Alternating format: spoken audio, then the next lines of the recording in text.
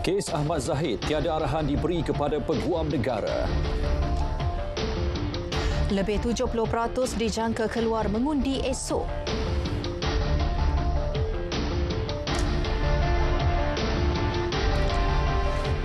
Assalamualaikum dan salam Malaysia Madani.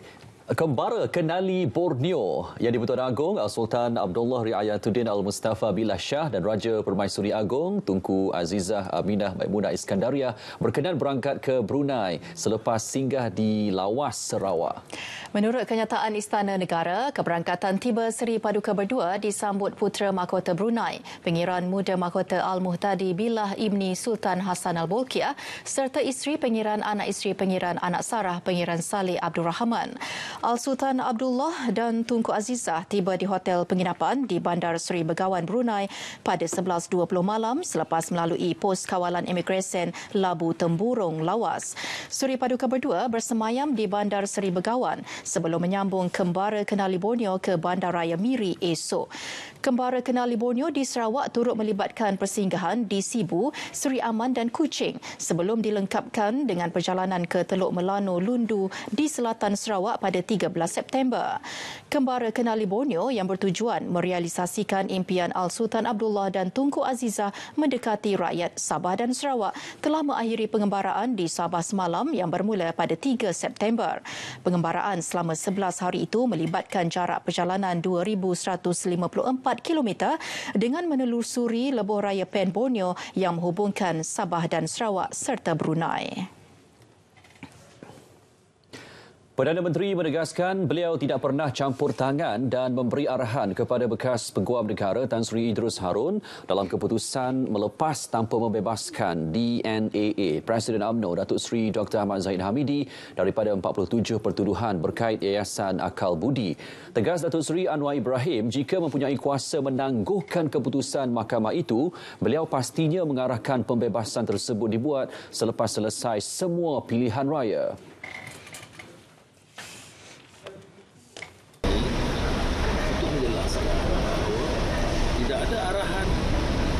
negara masa itu Fasli Idrus dia terlibat dalam meneruskan penawar yang dia baca dokumen bocor yang ditulis oleh Jabatan Kuasa yang menyatakan tidak setuju dengan penawar dia juga lihat beberapa fakta baru 200 halaman yang dikemukakan. Dia juga lihat pertama tentunya saya sebagai yang dan tahu pesan dan tuduhan yang dilemparkan saya terpaksa tanya panjang kepada kenapa perusahaan itu kenapa sekarang jadi kalau ikut tanya saya kalau saya ada kuasa saya nak tangguh Beliau berkata demikian kepada pemberita selepas solat Jumaat di Masjid Jamek Seri Petaling, Kuala Lumpur. Menjelang hari mengundi bagi PRK Parlimen Pulai dan Dewan Negeri Simpang Jeram esok, pengundi di kedua-dua kawasan berkenaan diingatkan tidak termakan pujukan dan tawaran saat akhir kempen. Timbalan Perdana Menteri Datuk Seri Dr. Ahmad Said Hamidi berkata, mereka telah matang dan menolak kempen fitnah dan tidak beretika. Pengundi-pengundi di Johor ini memang matang. Terbukti daripada pilihan raya negeri yang lalu dan juga pilihan raya umum.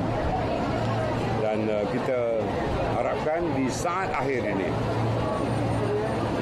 supaya jangan termakan dengan pujukan apatah lagi dengan jika ada tawaran-tawaran yang pelbagai bentuk untuk mengalihkan uh, istiqamah kita bagi mengundi dan memberikan kebenangan kepada calon daripada parti dari Kerajaan Perpaduan. Beliau berkata demikian selepas merasmikan Karnival Usahawan Wanita di Parit Sulong, Batu Pahat. Tempoh berkempen bagi PRK Parlimen Pulai dan Dewan Negeri Simpang Jeram tamat pukul 11.59 minit malam ini. SPR menjangkakan peratusan keluar mengundi esok melebihi 70%. Pengerusi SPR Tan Sri Abdul Ghani Saleh berkata jika jumlah peratusan itu tercapai, ia mengatasi peratusan keluar mengundi iaitu lebih 60% yang direkodkan pada PRU DUN ke-15 pada 12 Ogos lalu.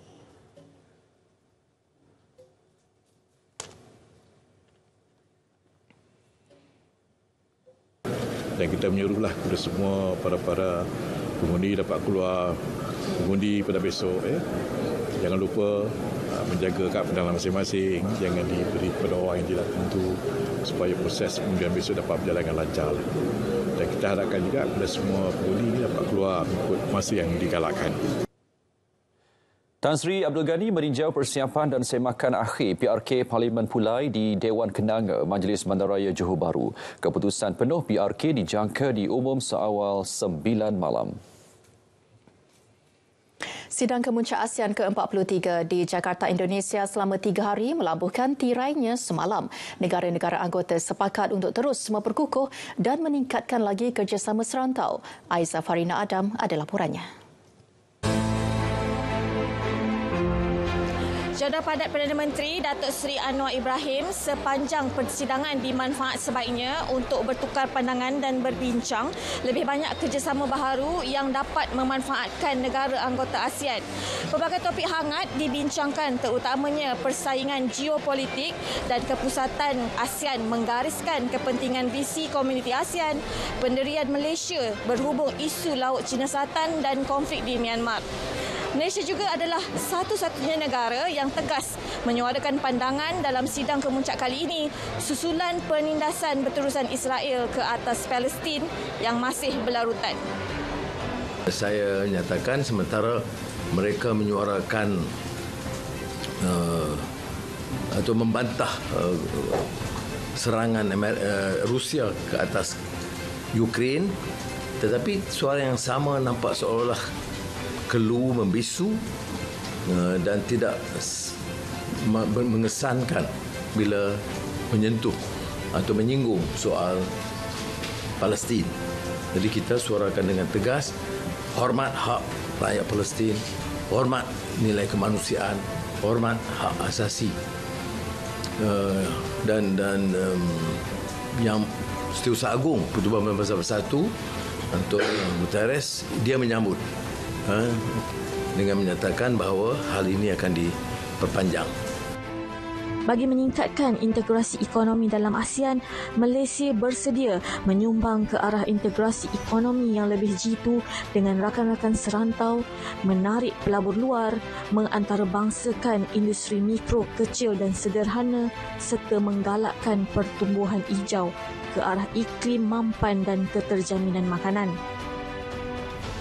kerjasama ekonomi itu diberi tumpuan sebenarnya. Jadi ada umpamanya uh, uh, negara China uh, persiapkan dana uh, untuk bantuan tambahan.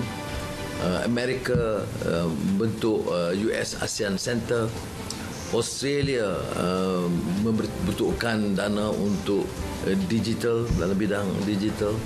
India mengumumkan uh, bantuan khas dalam beberapa bidang juga. Jadi ada nampak perkembangan bagi saya sangat positif ke sidang ini kerana ada cara-cara konkret yang boleh um, mempercepatkan uh, proses pelaburan uh, kerana penekanan dan dibincang cara terbuka oleh semua sebanyak 8 mesyuarat dengan rakan-rakan dialog ASEAN serta 7 mesyuarat dua hala dengan pemimpin-pemimpin dunia memutamatkan 91 dokumen hasil. Kita cuba rumuskan.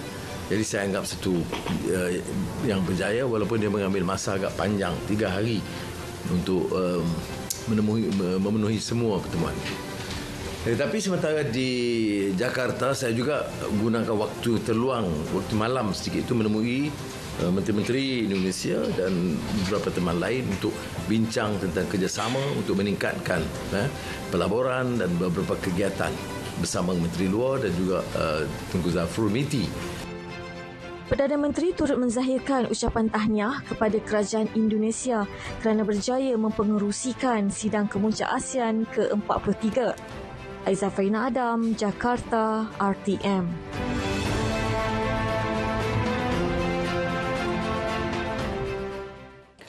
Jenazah bekas Tunku Ampuan Negeri Sembilan Tunku Ampuan Najihah almarhum Tunku Besar Burhanuddin selamat dimakamkan di makam di Raja Istana Seri Menanti petang tadi. Almarhumah Tunku Ampuan Najihah mangkat pada usia 100 tahun di sebuah hospital di Ibu Negara 6.53 pagi tadi. Almarhumah merupakan Raja Permaisuri Agong kepada Yang di-Pertuan Agong ke-10 Allahyarham Tuanku Jaafar Tuanku Abdul Rahman yang di-Pertuan Besar Negeri Sembilan Tuanku Muhriz Ibni Almarhum Tuanku Munawir berangkat ke Istana Besar Seri Menanti pada 3.48 petang bagi memberi penghormatan terakhir kepada jenazah Allah Marhumah. Berangkat Tunku Ampuan Besar Negeri Sembilan Tuanku Aisyah Rohani Tengku Besar Mahmud serta anak anda Tunku Zain Al-Abidin Ibni Tuanku Muhriz. Isteri Perdana Menteri Datuk Seri Dr. Wan Azizah Wan Ismail, Menteri Pertahanan Datuk Seri Muhammad Hassan dan pemimpin Kerajaan Negeri Sembilan juga hadir memberi penghormatan terakhir.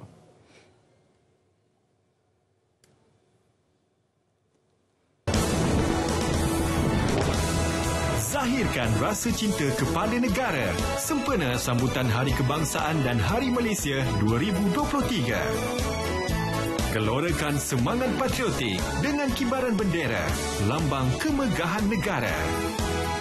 Hormati jalur gemilang dengan cara pengibaran yang betul. Ayo, kibarkan jalur gemilang.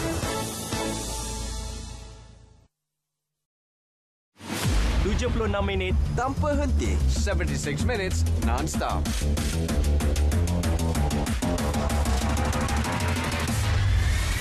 Transparent and concise. Paparan komprehensif, ringkas dan padat. Saksikan Kanta 744, 7.44 malam. Berita perdana 8 malam. Malaysia Tonight, 8.30pm.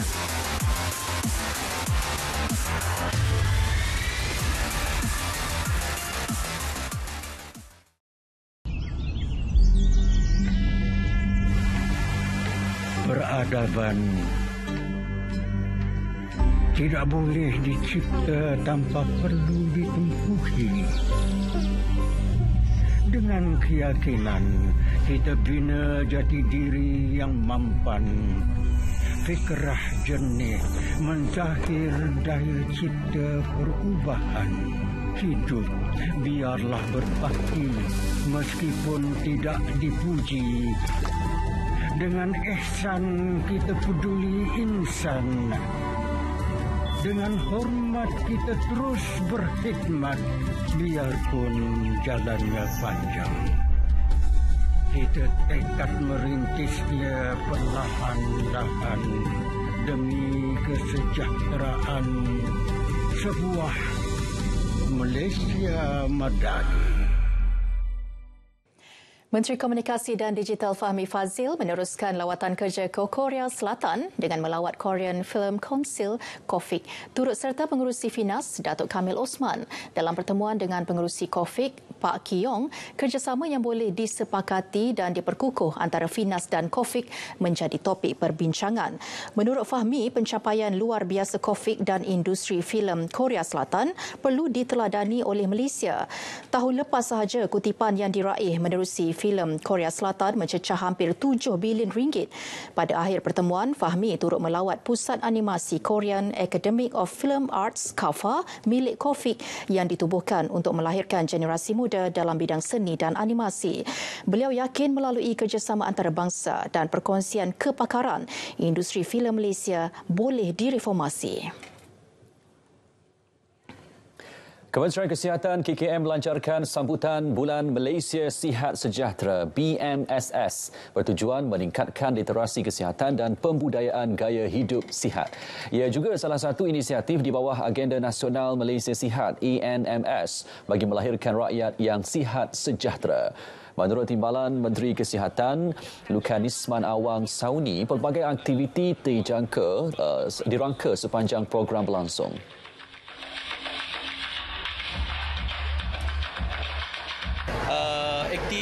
Aktiviti Bulan Malaysia Sehat Sejahtera memfokuskan kepada lima fokus pembudayaan hidup iaitu uh, fokus kepada minda sehat, aktiviti fizikal, pemakanan sehat dan selamat dan juga tidak merokok serta kebersihan diri dan persekitaran. Beliau berkata demikian pada sidang media pelancaran sambutan Bulan Malaysia Sihat Sejahtera, peringkat kebangsaan dan pelepasan kembara sekolah 2023 di Putrajaya.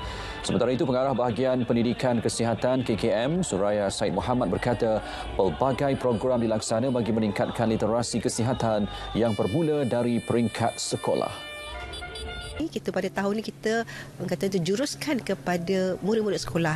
Kerana mereka adalah orang kata tu mudah dibentuk ya. Kita kata kalau kita nak lentur buluh biar ada daripada rebungnya. Lepas tu dengan kata Kementerian Pendidikan merupakan rakan strategik kita yang terdekat di kompleks ini yang terbesar ialah Kementerian Kesihatan dan Kementerian Pendidikan. Kita bergabung pada kali ini untuk melaksanakan kembara sekolah di semua negara uh, ni seluruh negara termasuklah semenanjung apa semenanjung Malaysia dan juga Sabah dan Sarawak. Itu program yang uh, kesihatan uh, program yang masa yang ambil minda kita aktif sehat lah dan sehat lah.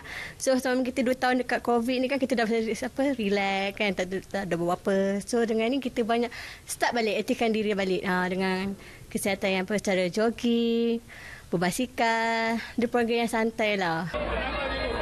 BMSS diadakan pada September setiap tahun selari dengan hala 7 KKM menerusi pendekatan pencegahan dalam promosi pembudayaan hidup sihat selari dengan hasrat kertas putih kesihatan.